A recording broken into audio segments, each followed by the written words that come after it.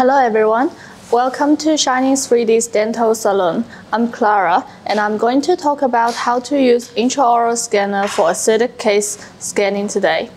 I will share some intraoral scanning skills for different aesthetic cases in the following talk. Firstly, how to obtain data with intraoral scanner in crown lengthening surgery. What is crown lengthening surgery? That is, under the basic principle of periodontal biological width, to expand the exposure range of healthy tooth tissue and to remove part of the alveolar bone and gingiva by surgery, so as to increase the exposure of the teeth, thereby improve the aesthetics and of the tooth shape or restore them. What is the process of crown lengthening surgery?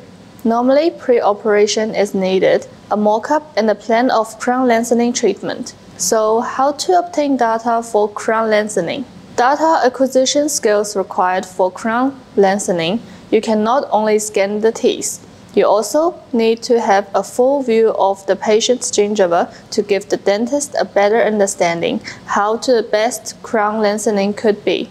By doing this, you will also need a mouth jack.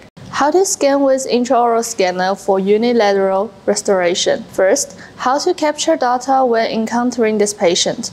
The proper method would be having a symmetric scanning and mark this as a reference significance. How to scan with intraoral scanner for mockup.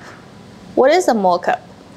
In dental aesthetic restoration, mockup is an effective method to display the dental aesthetic design and will help with the dentist-patient communication.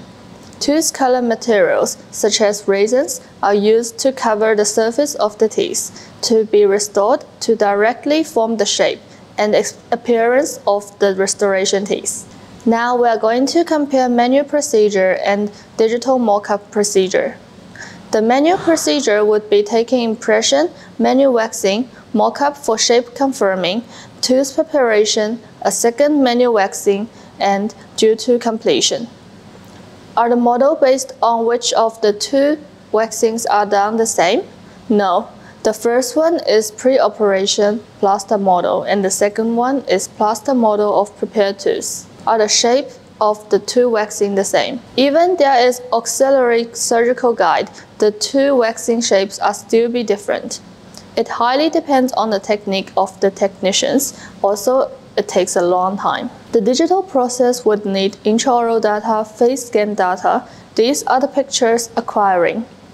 Then would be up to diagnosis model design and model printing. Digital mockup for shape confirming, tooth preparation, and the restoration design to completion.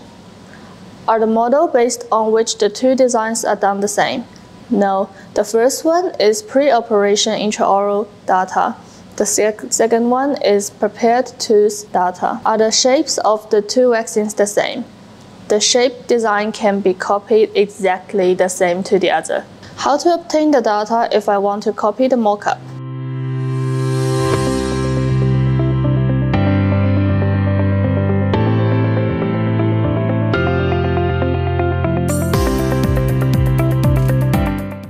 Obtain mockup data with pre-operation procedure. Firstly, create an order, choose yes for pre-operation. Then scan the mockup or the model data and scan the working jaw. Use HD Refine to keep the data you want to be high details. Scan the opposite jaw and bite. How to scan with intraoral data for final restoration. You will need a standard process of teeth preparation for aesthetic restoration and need accurate data or model. How to obtain a scan data for high accuracy and details. The tools you needed would be a disposable dental instrument box, a dental pump, mouth jack, dental high-speed ear turbine handpiece, gingival retraction cord, and a clean scanning tip. If possible, you will also need a mouth suction to extract the saliva. Thank you for hearing everyone.